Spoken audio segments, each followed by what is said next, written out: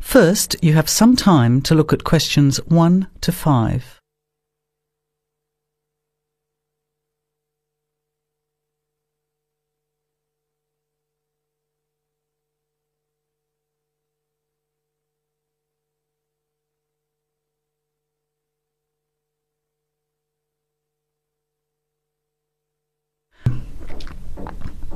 Listen carefully to the conversation and answer questions 1 to 5.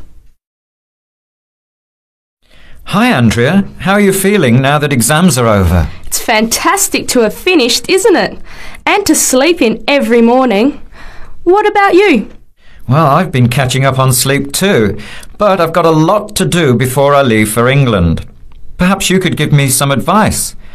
I've got a lot of things I can't possibly take back with me, but I don't know what to do with them. Well, it depends on what sort of things they are and whether you're thinking of giving them away or selling them. Well, almost everything. Furniture, the fridge, and other kitchen stuff that I bought from the previous tenant. But the new people have already got what they need, so they're not interested in buying stuff from me.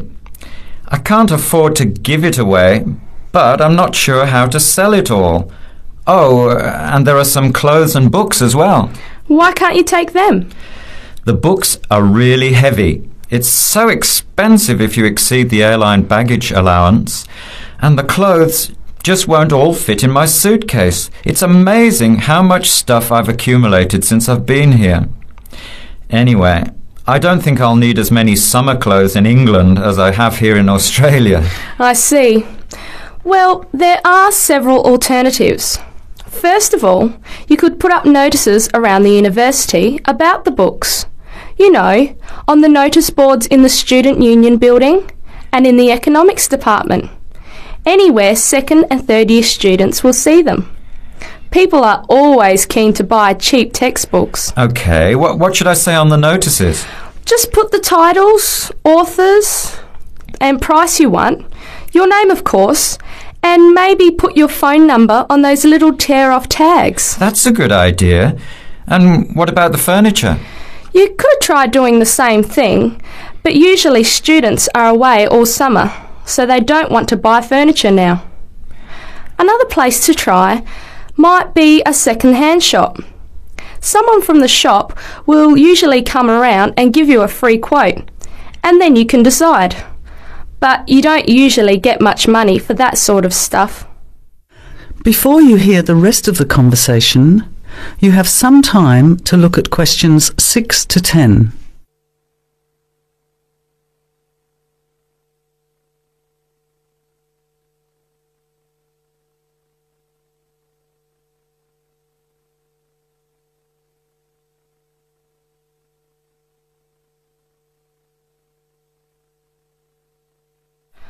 Another alternative is to put an advertisement in the Trading Post. Do you know that paper? It comes out every week advertising things people want to sell. You have to pay to put the advert in and then hope people phone. Give them as much information as possible, and if they're interested, invite them to come and have a look. The hard part is agreeing on a price. No, I haven't seen the trading post but I should have a look at it. And I could advertise the fridge, the microwave, and the furniture. But the kitchen stuff isn't really that good. You know, old cutlery, a few pots and pans, and some plates and things. What shall I do with them? Well, another option is to donate the kitchen things to a charity shop. You know, like the Salvation Army or St. Vincent de Paul. Why don't you get a second-hand shop to give you a quote first? Yes, I could do that. Find out how much they'll give me and then decide whether to sell them or give them away. But I've still got the clothes. A charity shop will take them too, as long as they're in good condition. And even though you don't get any money, at least you know that someone who really deserves some help has benefited. That's a good point. I'll advertise the expensive stuff the furniture, and donate the clothes and kitchen stuff. Let's go and buy a trading post and you can help me write the advert. Well, Actually, I'm interested in buying the fridge and the microwave, depending on the price, of course. OK, let's see how good you are at bargaining. That is the end of part one. You now have half a minute to check your answers.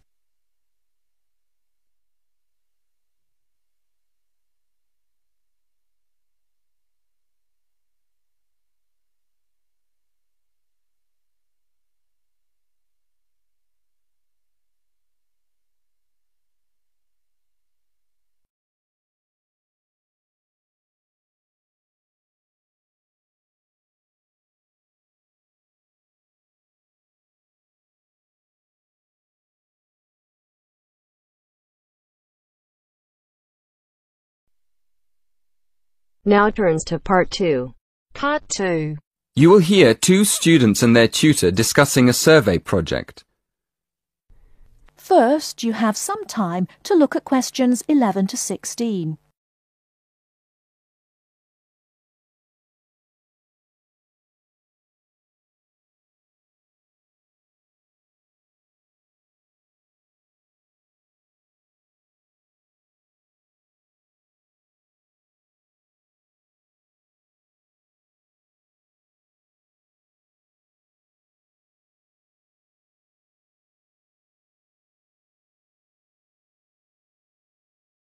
Now, listen carefully and answer questions 11 to 16. So, what's the survey about, Tom?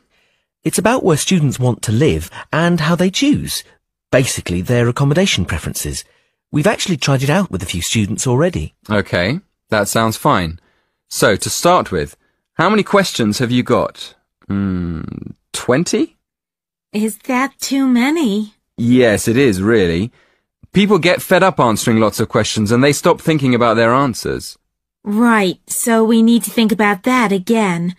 What do you think of the first three questions? Uh, you want to know what affects students' choice of accommodation when they go to university? Yes, we want to find out which has the most effect. The cost, the number of rooms in the house or flat, or the distance from campus. And then we asked another question. Oh, yes?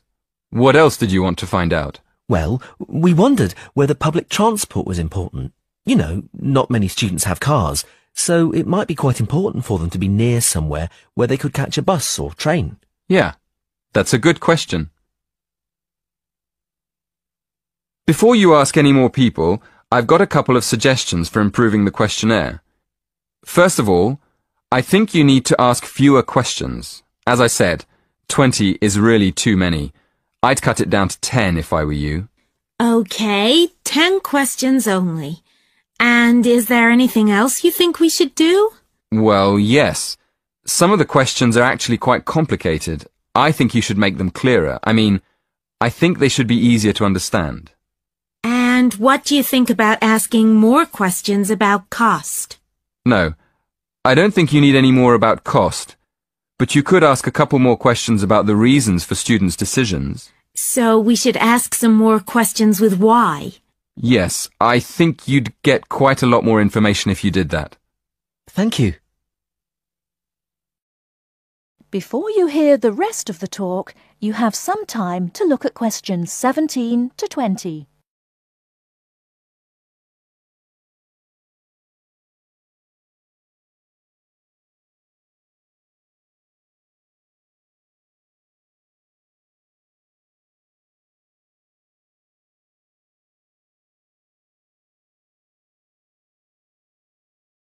Now listen and answer questions 17 to 20. Um, we've already got some results from our first questionnaire. Do you think we could use them? I don't see why not. What have you found out so far? Well, the number of rooms was only important for 16% of the people we asked. It looks like a lot of students are quite happy to share a room, and even fewer people were concerned about being near a bus stop, only 10% in fact. I'm surprised about that. But what about the distance from the university? Well, that was quite important. Around 20% of the students we asked wanted to be close to campus. Hmm, that makes sense. And what about the cost? yeah, as we expected, the cost was by far the most important factor. More than half the students were concerned with the cost.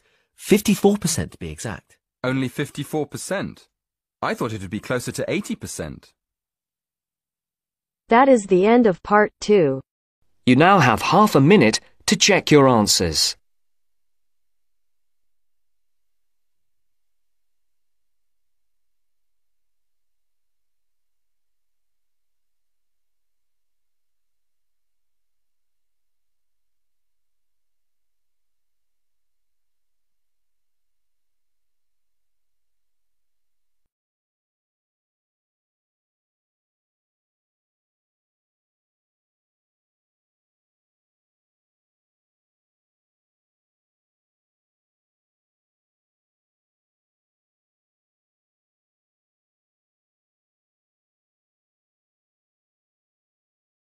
Now turns to part three. Part 3. First, you have some time to look at questions 21 to 26.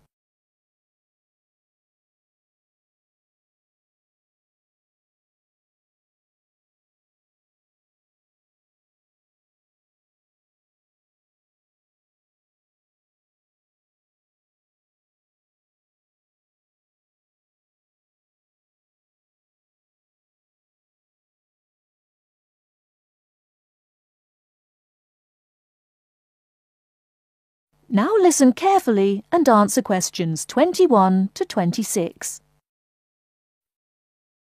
Good evening, and welcome to this month's Observatory Club lecture. I'm Donald Mackey, and I'm here to talk to you about the solar eclipse in history. A thousand years ago, a total eclipse of the sun was a terrifying religious experience. But these days, an eclipse is more likely to be viewed as a tourist attraction than as a scientific or spiritual event. People will travel literally miles to be in the right place at the right time to get the best view of their eclipse. Well, what exactly causes a solar eclipse? When the world goes dark for a few minutes in the middle of the day. Scientifically speaking, the dark spot itself is easy to explain. It is the shadow of the moon streaking across the earth. This happens every year or two, each time along a different and, to all intents and purposes, a seemingly random piece of the globe. In the past, people often interpreted an eclipse as a danger signal heralding disaster, and in fact, the Chinese were so disturbed by these events that they included among their gods one whose job was to prevent eclipses. But whether or not you are superstitious, or take a purely scientific view, our earthly eclipses are special in three ways. Firstly, there can be no doubt that they are very beautiful. It's as if a deep blue curtain had fallen over the daytime sky as the sun becomes a black void surrounded by the glow of its outer atmosphere. But beyond this, total eclipses possess a second, more compelling beauty in the eyes of us scientists, for they offer a unique opportunity for research.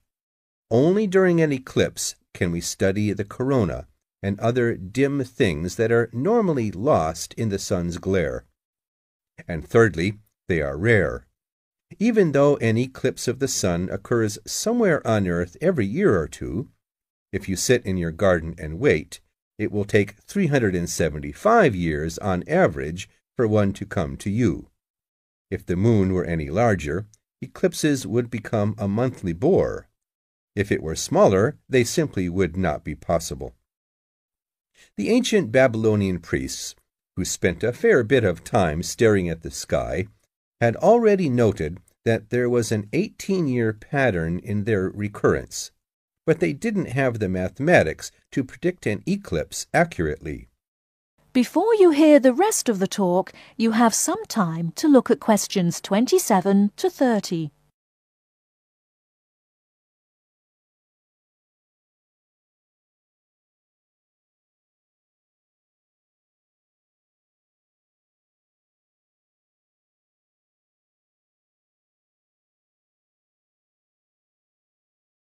Now listen and answer questions 27 to 30. It was Edmund Halley, the English astronomer, who knew his maths well enough to predict the return of the comet, which incidentally bears his name, and in 1715 he became the first person to make an accurate eclipse prediction. This brought eclipses firmly into the scientific domain, and they have since allowed a number of important scientific discoveries to be made. For instance, in the eclipse of 1868, two scientists, Janssen and Lockyer, were observing the sun's atmosphere, and it was these observations that ultimately led to the discovery of a new element. They named the element helium after the Greek god of the sun. This was a major find because helium turned out to be the most common element in the universe after hydrogen. Another great triumph involved mercury. I'll just put that up on the board for you now. See, there's Mercury, the planet closest to the Sun. Then there's Venus, Earth, etc. For centuries, scientists had been unable to understand why Mercury appeared to rotate faster than it should. Some astronomers suggested that there might be an undiscovered planet causing this unusual orbit, and even gave it the name Vulcan. During the eclipse of 1878, an American astronomer, James Watson, thought he had spotted this so called lost planet. But alas for him, he was later obliged to admit that he had been wrong about Vulcan and withdrew his claim. Then Albert Einstein came on the scene. Einstein suggested that rather than being wrong about the number of planets, astronomers were actually wrong about gravity. Einstein's theory of relativity, for which he is so famous, disagreed with Newton's law of gravity in just the right way to explain Mercury's odd orbit. He also realized that a definitive test would be possible during the total eclipse of 1919, and this is indeed when his theory was finally proved correct. So there you have several examples of how eclipses have helped to increase our understanding of the universe. And now let's move on the social.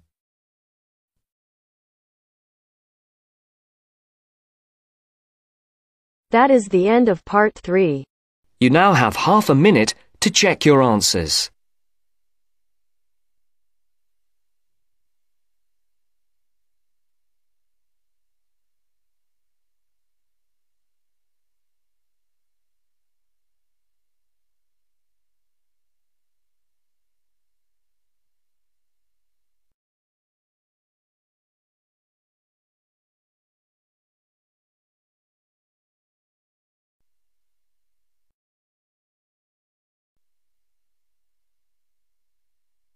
Now turns to part four. Part 4. You will hear an introduction about an eco-friendly building called the Gherkin. First, you have some time to look at questions 31 to 40.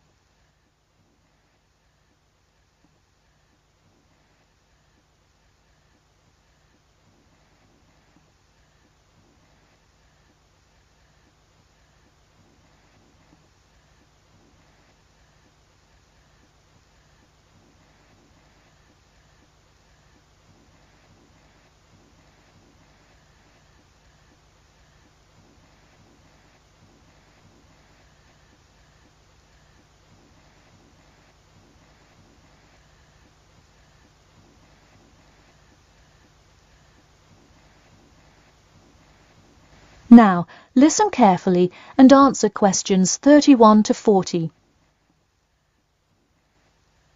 Today, I'd like to tell you about how UK architects are playing their part to address the issue of global warming. You have seen many of these iconic buildings while going about your everyday life, but you may not know how they are affecting your tomorrow.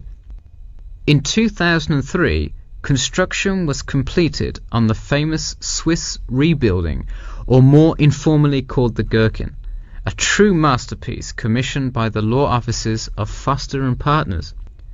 This is not the first ambitious endeavour of the firm. They are renowned for their various philanthropic environmental efforts. The Gherkin, with its cut-and-edge green initiative and sharp design, is gaining recognition as an icon in modern architecture. You can pick it out of the London skyline by its unorthodox cigar shape. While its appearance is the obvious attribute at which to marvel, there is far more to this building than meets the eye. And let's face it, there's a lot about this building that meets the eye. The building helps reduce the city's carbon footprint in a number of ways. Just a quick note, in case you're not familiar with the term carbon footprint, get used to it. It's a buzzword you'll hear relentlessly to talk about reducing emissions. Think of it as the amount of harmful greenhouse gases that are given off into the environment by a single person, organization, or product. So going back to the Gherkin building, perhaps the most obvious as well as the most significant eco-friendly feature is the glass windows, which allow light to pass through the building, both reducing heating costs and brightening up the workspace.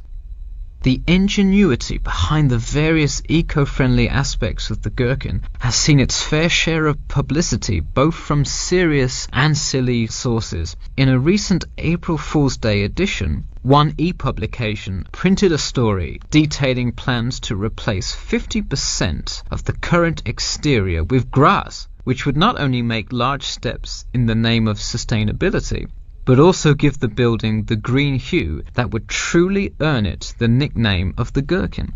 The only drawback is, as you may have guessed, that this story was an April Fool's Day joke and completely made up.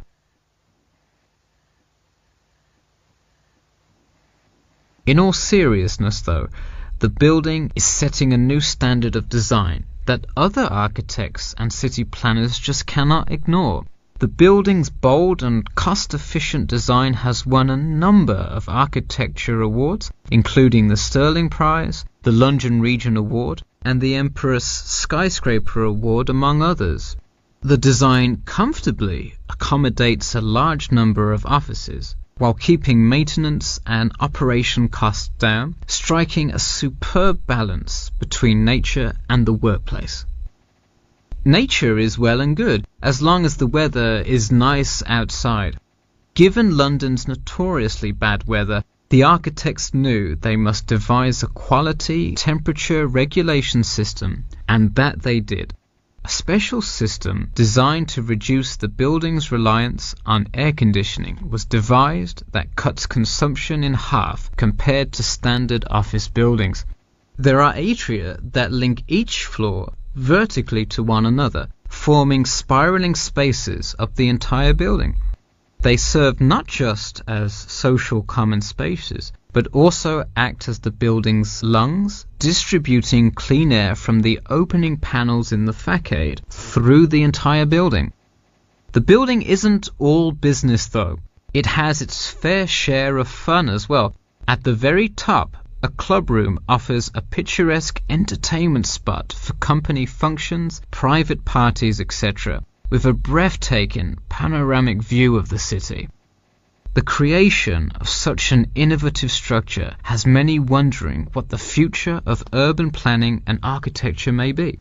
Well, if the other projects currently commissioned by Foster and Partners are any indication, the entire city constructed with similarly eco-friendly buildings is not far in the distance. The Masdar City development aims to create a desert city that produces zero waste and removes as much carbon dioxide from the atmosphere as it puts in, a huge feat in protecting our Earth. The Gherkin is a truly impressive feat, yet it is not the only one worth noting. Now to move on to another green initiative, I'll tell you about the Eden Foundation building found in Cornwall. That is the end of part 4. You now have half a minute to check your answers.